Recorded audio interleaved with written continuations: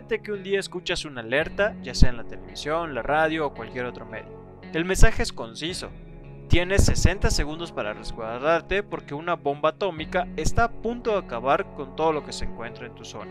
Y solo tienes la oportunidad de elegir ciertas cosas para lograr sobrevivir por tiempo indeterminado dentro de un búnker. Esto es 60 Seconds. ¿Listo para intentar sobrevivir al fin del mundo? Como tal, este título no tiene una historia, sino más bien es la que tus personajes van creando conforme intentan sobrevivir al confinamiento. este, digo, intentan sobrevivir en un búnker al que han tenido que acudir debido a que una bomba atómica azotó la zona donde vivían. Sin embargo, también hay que decir que conforme más juegas, es más probable que te vayas encontrando con ciertas situaciones que se van repitiendo constantemente, lo que habla de que tal vez el juego no es uno de aquellos que puedas disfrutar por decenas de horas sin que empiece a ser excesivamente repetitivo. 60 Seconds presenta dos estilos de arte. El primero y muy lamentable es el 3D, el cual veremos desde una cámara isométrica a nuestros personajes, de los cuales uno de ellos será el encargado de recoger todo lo necesario y posible dentro de un lapso de 60 segundos y llevarlos al búnker.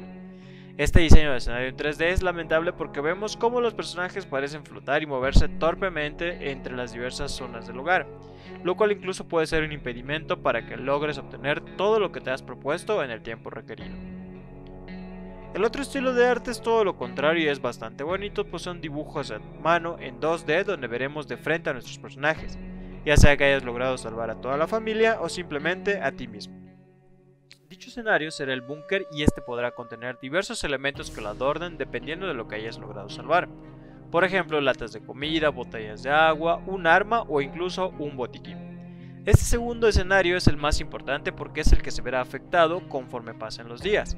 Por ejemplo, que una rata logre colarse, que un gato llegue como invitado porque lo dejaste pasar, pero tal vez lo más importante es cómo los personajes van cambiando. Principalmente el papá, ya que es a quien le afecta más en términos físicos porque le crece la barba y el bigote. Otros cambios que se generan a nivel visual en los personajes son cuando regresan de una expedición al exterior y contraen una enfermedad o han sido lastimados y no logras curarlos a tiempo o también cuando la demencia los alcanzó por tanto tiempo estar encerrados e incluso cuando simplemente mueren. Sobra tal vez decir que otros objetos también cambiarán. Por ejemplo, si tienes un botiquín y lo usas, este se quedará abierto y vacío o cuando una lata de comida también ha sido vaciada. La música es prácticamente inexistente y no tenemos trabajo de voces salvo algunos sonidos adicionales que acompañan el día a día, por ejemplo cuando tocan la puerta del búnker. La navegación del menú es bastante sencilla y dicho menú se refiere a una bitácora en la cual llevarán el conteo de lo que pasa todos los días, desde el inicio hasta el rescate o muerte de los personajes.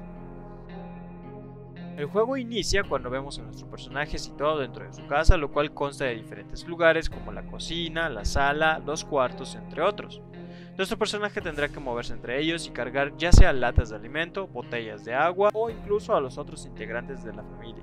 Y cada vez que llegue al límite de cosas que puede cargar tendrá que ir al búnker, dejarlos y volver a repetir el proceso. La idea es que logres meter todo lo que puedas en menos del tiempo estipulado y también tú mismo logres meterte al búnker antes de que se acabe el conteo hacia atrás. Una vez que el tiempo acabó empieza lo interesante, que es la bitácora del día a día de las acciones y sucesos que pasan en el búnker.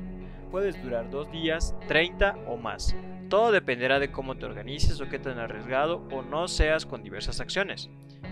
Por poner un ejemplo básico, puedo decir que debes alimentar a tus inquilinos cada dos o tres días, a menos claro que estén muriendo de hambre.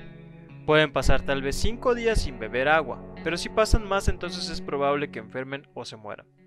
Cada cierto tiempo se te invitará a que organices una expedición para que uno de los inquilinos aventure a las afueras en busca de provisiones, por ejemplo en la radio para que puedan estar pendientes de lo que sucede en el exterior, o de comida o incluso de algún juego de mesa para entretenerse mientras los días pasan.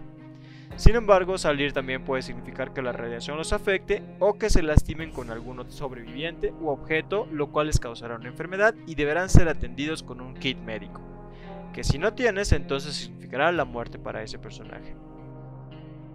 Otras situaciones pueden ocurrir con el pasar de los días, por ejemplo que alguien toque la puerta, unas señoras que lucen amables y llevan unas sombrillas, pero que al abrir la puerta te agreden e incluso te roban provisiones. O si de plano te va bien, que escuches en la radio el momento en el cual el gobierno empezará a rescatar a los sobrevivientes.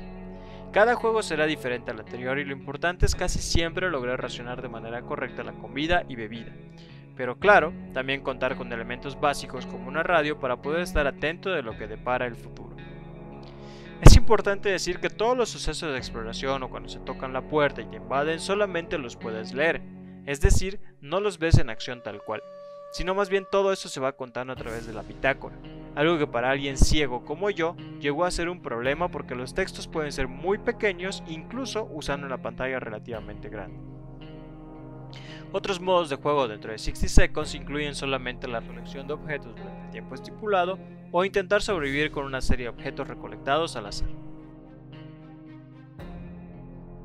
Si no tienes en qué gastar tu dinero, literalmente, entonces 60 Seconds puede ser una opción pero creo que después de esta reseña sobra decir que es un juego que podrás dedicarle un par de horas como máximo antes de que empieces a sentir lo repetitivo que es. Sin embargo, si quieres algo diferente y eres de aquellos que aman exprimir todos los logros de un juego, entonces esta es una opción que te brindará muchas horas.